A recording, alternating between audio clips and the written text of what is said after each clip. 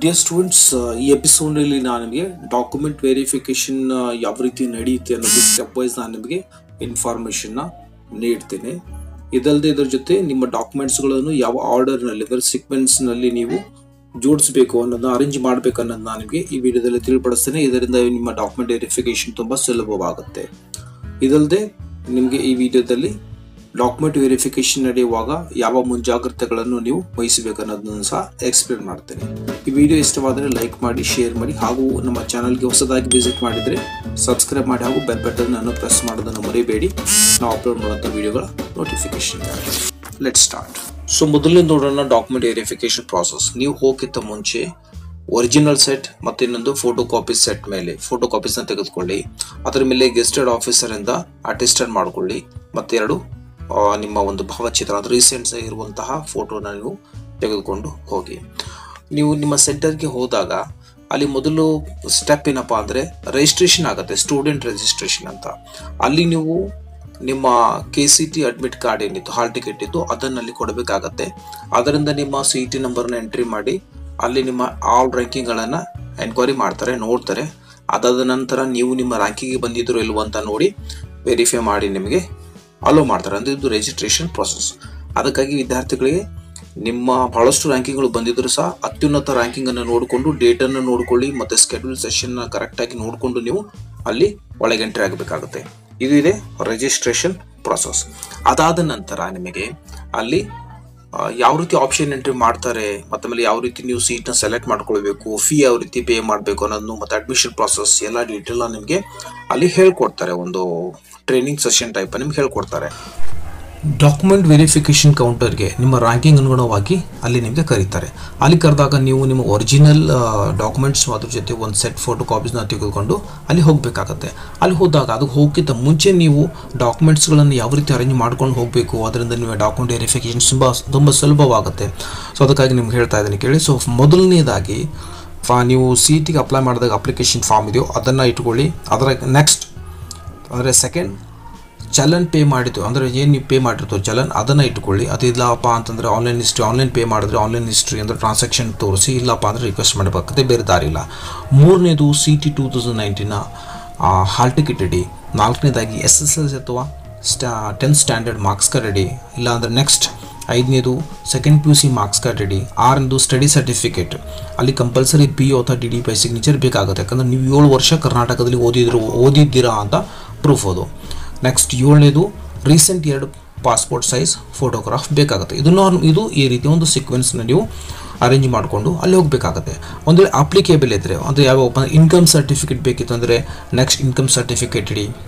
Okay income certificate ಆದ ನಂತರ ಒಂದರಿಂದ ಹತ್ತನೇ ತರಗತಿ ಓದಿರುವಂಥ ಕನ್ನಡ ಮೀಡಿಯಂ ಅಪ್ಲಿಕೇಬಲ್ ಇದ್ದರೆ ಕನ್ನಡ ಮೀಡಿಯಂ ಸಿಗ್ನಿ ಸರ್ಟಿಫಿಕೇಟ್ ಇಡಿ. ಅಲ್ಲಿ ಸಹ ಬಿ ಅಥವಾ ಬಿ ಯು ಅಥವಾ ಡಿ ಡಿ ಪಿ ಸಿಗ್ನೇಚರಲ್ಲಿ ಕಂಪಲ್ಸರಿ ನಿಮಗೆ ಬೇಕಾಗ ಅಂದರೆ ಬಿ ಯು ಸಿಗ್ನೇಚರ್ ಬೇಕಾಗುತ್ತೆ ಸರ್ ಒನ್ ಟು ಟೆಂತ್ ಇಷ್ಟು ಬೇಕಾಗಿರುತ್ತೆ ಬಿ ಯು ಸಿಗ್ನೇಚರ್ ಅದಾದ ನಂತರ ನೀವು ಒನ್ ಟು ಹತ್ತನೇ ತರಗತಿವರೆಗಿನ ರೂಲ್ ಸರ್ಟಿಫಿಕೇಟ್ ನಿಮಗೆ ಅಪ್ಲಿಕೇಬಲ್ ಇದ್ದರೆ ಅದನ್ನು ನೀವು ತೆಗೆದುಕೊಳ್ಳಿ. ಅದಾದ ನಂತರ caste certificate caste income certificate ಅಥವಾ ಇನ್ಕಮ್ ಸರ್ಟಿಫಿಕೇಟ್ ಯಾಕಂದರೆ ನೀವು ಎಸ್ ಎನ್ ಕ್ಯೂ ಕೋಟದಲ್ಲಿ ನಿಮಗೆ ಸೀಟನ್ನು ತೆಗೆದುಕೊಳ್ಬೇಕಂತಂದರೆ, ಅಥವಾ ಬೇರೆಯವರಿಗೂ ಕಾಸ್ಟ್ ಸರ್ಟಿಫಿಕೇಟ್ ಬೇಕಾಗುತ್ತೆ, ಅದನ್ನು ತೆಗೆದುಕೊಂಡೇನಪ್ಪ ಅಂದರೆ, ನೀವು ನೆಕ್ಸ್ಟ್ ಇಡಿ. ಅದಾದ ನಂತರ ನೀವು ಹೈದರಾಬಾದ್, ಕರ್ನಾಟಕ ರೀಸನ್ಗೆ ಬಿಲಾಂಗ್ ಆದರೆ ತ್ರೀ ಸೆವೆಂಟಿ ಒನ್ ಜೆ ಸರ್ಟಿಫಿಕೇಟ್ನ ಇಡಬೇಕಾಗುತ್ತೆ. ಇದಲ್ಲದೆ ನೀವು parents study certificate home loan certificate ಈ ರೀತಿ ಬೇಕಿತ್ತಂದರೂ ಸಹ ನೀವು ಅದನ್ನು ಇಡಿ. ಅದಾದ ನಂತರ ನೀವು ಒಂದು ವೇಳೆ ನಿಮಗೆ ಹೊರನಾಡು ಮತ್ತು ಗಡಿನಾಡು ಕ್ಲಾಸ್ಗೆ ಒಳಪಟ್ಟಿದ್ರೆ ಆ ಸರ್ಟಿಫಿಕೇಟ್ ನೀಡಿ. ಕೊನೆಯದಾಗಿ ಮತ್ತು ಜಮ್ಮು ಮತ್ತು ಕಾಶ್ಮೀರ ಮೈಗ್ರೆಂಟ್ ಕೋಟಾಗಾಗಿ ನೀವು ಅಲ್ಲಿ ಪಡೆದಿರುವಂತಹ ಸರ್ಟಿಫಿಕೇಟ್ಸ್ನ ಕೊನೆಯದಾಗಿ ಇಡಬೇಕಾಗುತ್ತೆ. ಸೊ ಈ ರೀತಿ ನೀವು ಸರ್ಟಿಫಿಕೇಟ್ಸ್ಗಳನ್ನ ಲೈನ್ ಆಗಿ, ಅಂದರೆ ಈ ರೀತಿ ಒಂದು ಸೀಕ್ವೆನ್ಸ್ನಲ್ಲಿ ನೀವು ಅರೇಂಜ್ ಮಾಡಿಕೊಂಡ್ರೆ ನಿಮ್ಮ ಡಾಕ್ಯುಮೆಂಟ್ ವೆರಿಫಿಕೇಷನ್ಗೆ ತುಂಬ ಸುಲಭವಾಗುತ್ತೆ. ಓಕೆ ಸೊ ನೋಡಿ, ಅಲ್ಲಿ ಎಲ್ಲ ಡಾಕ್ಯುಮೆಂಟ್ಸ್ಗಳನ್ನು ವೆರಿಫೈ ಮಾಡಿದ ನಂತರ ನಿಮಗೆ ಒಂದು ಅಂದರೆ ಅವ್ರು ಏನು ಮಾಡ್ತಾರೆ ಫೋಟೋ ಕಾಪಿ ಸೆಟ್ನ ಇಟ್ಕೋತಾರೆ. ಇಟ್ಕೊಂಡು ನಿಮಗೆ ಒರಿಜಿನಲ್ ಸೆಟ್ನ ರಿಟರ್ನ್ ಮಾಡ್ತಾರೆ. ನೋಡಿ ನಿಮ್ಮ ಮುಂಜಾಗ್ರತೆ ಕ್ರಮಗಳು ನಮ್ಗೆ ಹೇಳ್ತಾ ಇದ್ದೀನಿ. ಏನು ಇಂಪಾರ್ಟೆಂಟ್ ಅಂದರೆ, ಅವಾಗ ಅವ್ರು ಏನು ಮಾಡ್ತಾರೆ ಅಂದರೆ ಒಂದು ಅಕ್ನಾಲೇಜ್ಮೆಂಟ್ ಕೊಡ್ತಾರೆ. ಅಕ್ನಾಲೇಜ್ಮೆಂಟ್ ಮತ್ತು ಆಮೇಲೆ ಇನ್ನೊಂದು ಕಂಪ್ಯೂಟರ್ ಜನ್ರೇಟರ್ ಒಂದು ಸ್ಲಿಪ್ ಕೊಡ್ತಾರೆ. ಆ್ಯಂಡ್ ಆ ಒಂದು ಸ್ಲಿಪ್ನಲ್ಲಿ ಆಲ್ರೆಡಿ ಮೆನ್ಷನ್ ಮಾಡಿರ್ತಾರೆ. ನೀವು ಚೆಕ್ ಮಾಡ್ಬೇಕು, ಏನು ಮಾಡ್ಬೇಕಂತ ನೋಡಿ.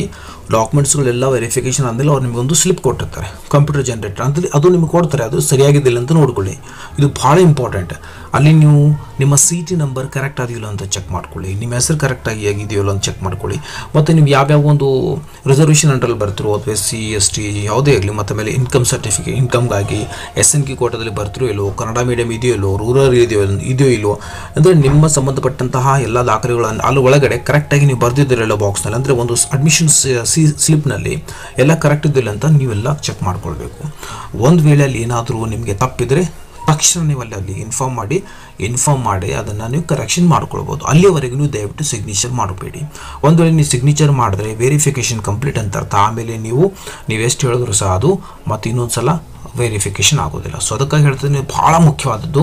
ಮುಕ್, ಯಾಕಂದರೆ ತಪ್ಪುಗಳಾಗ್ತವೆ ಯೂಸಲಿ ವೆರಿಫಿಕೇಷನ್ ಆಗುವಾಗ. ಅದಕ್ಕೆ ಹೇಳ್ತಾ ಇದ್ದೀನಿ ವೆರಿಫಿಕೇಷನ್ಸ್ ಅಂದರೆ ಸ್ಲಿಪ್ ಕೊಟ್ಟ ಮೇಲೆ. ನಿಮಗೆ ಒಂದು ಸ್ಲಿಪ್ ಕೊಡ್ತಾರೆ. ಆ ಸ್ಲಿಪ್ನಲ್ಲಿ ಎಂಟರ್ ಮಾಡಿರುವಂಥ ಎಲ್ಲ ಡಾಟಾ ನಿಮಗೆ ಸಂಬಂಧಪಟ್ಟಂಥ ಎಲ್ಲ ಡಾಟಾ ಅಲ್ಲಿ ಕರೆಕ್ಟ್ ಆಗಿದೆಯೋ ಅಥವಾ ಇಲ್ಲೋ ಅನ್ನೋದನ್ನು ನೀವು ಕರೆಕ್ಟಾಗಿ ಎಲ್ಲ ಓದ್ಕೋಬೇಕು ಅದಾದ ನಂತರ ನೀವು ಸಿಗ್ನೇಚರ್ ಮಾಡಬೇಕು.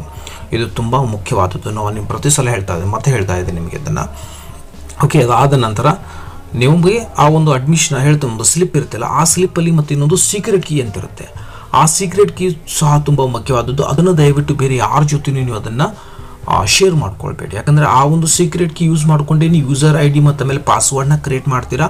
ಆ ಒಂದು ಸೀಕ್ರೆಟ್ ಕೀ ಇಲ್ಲ ಅಂತಂದರೆ ನೀವು ಆಪ್ಷನ್ ಎಂಟ್ರಿ ಮಾಡೋಕ್ಕಾಗಲ್ಲ. ಆಪ್ಷನ್ ಎಂಟ್ರಿಗಾಗಿ ಸೀಕ್ರೆಟ್ ಕೀ ಬೇಕಾಗುತ್ತೆ ಆಪ್ಷನ್ ಎಂಟ್ರಿ ಎಡಿಟ್ ಮಾಡೋಕ್ಕೆ ಬೇಕಾಗುತ್ತೆ, ಮತ್ತು ಆಪ್ಷನ್ ಎಂಟ್ರಿ ರಿಸಲ್ಟ್ ನೋಡೋಕ್ಕೆ ಯಾವುದು ಸೀಕ್ರೆಟ್ ಕೀ ಬೇಕಾಗುತ್ತೆ. ಮತ್ತು ಮುಂದೆ ಅಡ್ಮಿಷನ್ಗಾಗಿ ನೀವು ಫೀ ಪೇ ಮಾಡಿದಾಗೂ ಸಹ ಸೀಕ್ರೆಟ್ ಕೀ ಕಂಪಲ್ಸರಿ ಬೇಕಾಗುತ್ತೆ. ಸೊ ಅದಕ್ಕಾಗಿ ಮುಖ್ಯವಾದದ್ದು ನೀವು ಇಂಪಾರ್ಟೆಂಟ್ ಅಂದರೆ ಒಂದು ಸ್ಲಿಪ್ನಲ್ಲಿ ಸಿಗ್ನೇಚರ್ ಮಾಡೋಕ್ಕಿಂತ ಮುಂಚೆ ಎಲ್ಲ ಸರಿಯಾಗಿದೆಯೋ ಇಲ್ಲೋದನ್ನು ನೀವು ನೋಡ್ಕೊಳ್ಳೋದು. ಮತ್ತು ಆಮೇಲೆ ಸೀಕ್ರೆಟ್ ಕೀನ ಯಾರಿಗೂ ಕೊಡದೆ ಮುಂಜಾಗ್ರತೆಯಿಂದ ನಿಮ್ಮ ಹತ್ರ ಕರೆಕ್ಟಾಗಿ ಇಟ್ಟುಕೊಳ್ಳೋದು. ಓಕೆ ಸೊ ಮುಂದಿನ ವೀಡಿಯೋದಲ್ಲಿ ಆಪ್ಷನ್ ಎಂಟ್ರಿ ಬಗ್ಗೆ ನಾನು ನಿಮಗೆ ವಿಡಿಯೋ ಮಾಡುತ್ತೇನೆ. ಆಪ್ಷನ್ ಎಂಟ್ರಿ ಯಾವ ರೀತಿ ಇರುತ್ತೆ, ಯಾವ ರೀತಿ ಮಾಡಬೇಕು ಅನ್ನೋದು, ಮತ್ತು ಪೂರ್ವ ಸಿದ್ಧತೆಗಳ ಬಗ್ಗೆ ನಾನು ನಿಮಗೆ ಹೇಳ್ತಿದ್ದೆ. ನೀವೆಲ್ಲ ಫಸ್ಟ್ ಆಫ್ ಆಲ್ ನೀವು ಒಂದು ಬದಲು ಏನು ಮಾಡಬೇಕು ಅನ್ನೋದು ನಾನು ರೀಸ್ ಸೂನಾಗಿ ವೀಡಿಯೋ ಮಾಡ್ತೇನೆ. ಸೊ ವಿಡಿಯೋ ನಿಮಗೆ ಇಷ್ಟವಾದರೆ ಲೈಕ್ ಮಾಡಿ ಶೇರ್ ಮಾಡಿ, ಈ ಒಂದು ವಿಡಿಯೋನ ಮ್ಯಾಕ್ಸಿಮಮ್ ನಿಮ್ಮ ಫ್ರೆಂಡ್ಸ್ ಜೊತೆ ಶೇರ್ ಮಾಡಿ, ಎಲ್ಲರಿಗೂ ಇನ್ಫಾರ್ಮೇಷನ್ ಸಿಗಲಿ. ಓಕೆ ಮತ್ತೆ ಸಿಗೋಣ ಮುಂದಿನ ವಿಡಿಯೋ